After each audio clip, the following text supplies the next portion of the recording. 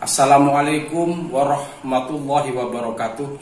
Mari kita sukseskan musyawarah kerja cabang ke-1 PCNU Sampang 30 Agustus 2020 bertepatan pada tanggal 11 Muharram 1442 Hijriah dengan tema menguatkan kemandirian jamiah menuju satu abad Nahdlatul Ulama dengan harapan semoga melahirkan program-program yang lebih menyentuh kebutuhan umat meliputi sektor pendidikan, perekonomian dan kesehatan.